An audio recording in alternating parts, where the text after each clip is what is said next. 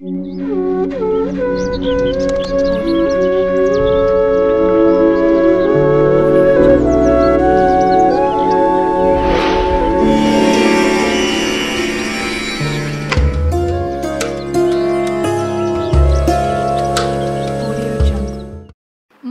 గ్రహాలలో గురు లేదా బృహస్పతి గ్రహం అతి పెద్దదిగా పరిగణిస్తారు. ఇది దేవతలకు కూడా గురువు.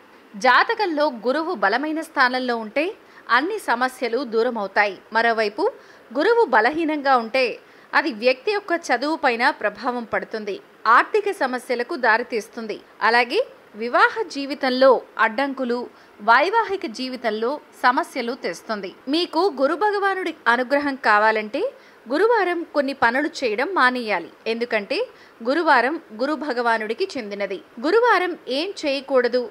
మరియు ఏం చేయవచ్చు తెలుసుకుందాం. జ్యోతిష్ శాస్త్రం ప్రకారం గురువారం రోజు తలస్నానం చేయకూడదు. జుట్టు కత్తిరించకూడదు. గోళ్ళు కత్తిరించకూడదు. షేవ్ చేయకూడదు. ఇలా చేయడం వల్ల డబ్బుకు సంబంధించిన సమస్యలు పెరిగి మీ పురోగతికి ఆటంకం కలుగుతుంది. మీరు గురువారం ఇంటిని శుభ్రం చేయొచ్చు. కానీ విశేషాల కోసం శుభ్రం చేయడానికి వస్తే గురువారం నాడు చేయకూడదు. ఇక ఇంటి చెత్తను గురువారం నాడు విసిరేయకూడదు. ఈ రోజు తప్ప మరే ఇతర రోజుల్లో అయినా చెత్త విసిరేయచ్చు. గురువారాల్లో లాండ్రీ లేదా బట్టలు ఉతకద్దు. ముఖ్యంగా గురువారం నాడు అప్పుడప్పుడు బట్టలు ఉతకండి. అయితే ప్రతిరోజు బట్టలు ఉతకవచ్చు. గురువారాల్లో విష్ణువుని లక్ష్మిని పూజించండి. గురువారాల్లో శ్రీ మహావిష్ణువు మరియు లక్ష్మీదేవిని క్రమం తప్పకుండా పూజించాలి. విష్ణువు మరియు లక్ష్మీదేవి సంపదకు ప్రతీకలు. వీలైతే ఈ రోజున శ్రీ మహావిష్ణువు లక్ష్మీదేవికి ప్రత్యేక పూజలు చేయండి. దీనివల్ల వైవాహిక జీవితం ఆనందంగా సంపన్నంగా ఉంటుంది.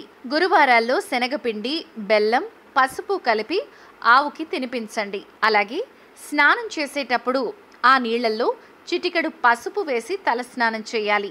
గురువారం నాడు శక్తి మేరకు పేదలకు దానం చేయాలి. శనగలు అరటిపండ్లు పసుపు వస్త్రాలు మొదలైనవి దానం చేయాలి. గురువారం ప్రారంభించిన పనులు జీవితంలో పునరావృతం కావలసి ఉంటుంది.